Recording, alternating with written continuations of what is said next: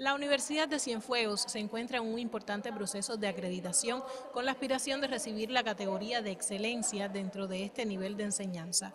Es un camino en el que participa toda la comunidad universitaria, con sus directivos al frente, por supuesto, y en general todos los que son egresados, empleadores, eh, trabajan con los proyectos de la universidad, los que reciben su efecto como parte de la influencia en el desarrollo local, en fin en cada una de las, de, las partes del trabajo en la sociedad eh, cienfueguera y en otras partes también, puesto que la Universidad de Cienfuegos tiene un efecto y las otras también, eh, no solo en sus provincias, sino también en otras provincias del país e incluso en el mundo.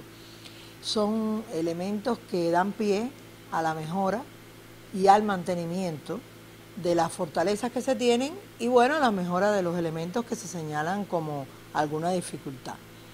Por, ejemplo, la Universidad de Cienfuegos eh, recibió una evaluación institucional ya hace cinco años y ha estado trabajando en tanto en mantener la fortaleza como en mejorar todo lo que tiene que ver con los elementos que le fueron señalados, tanto a la institución como a los programas que en ella se desarrollan. Además, se desarrollan intercambios con profesores y estudiantes universitarios, así como con egresados de los distintos programas académicos. Hay una parte que es presencial, que es esta que estamos haciendo, que dura una semana. Eso se apoya en entrevistas a estudiantes, a trabajadores docentes y no docentes, a directivos, a empleadores, a egresados. También nos reunimos con los estudiantes con objetivos muy concretos.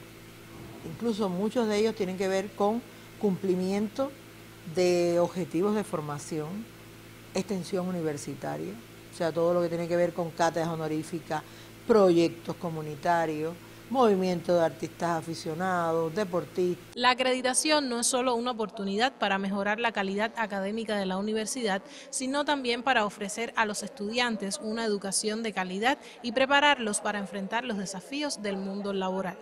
Alien Armas Enríquez, Notisur.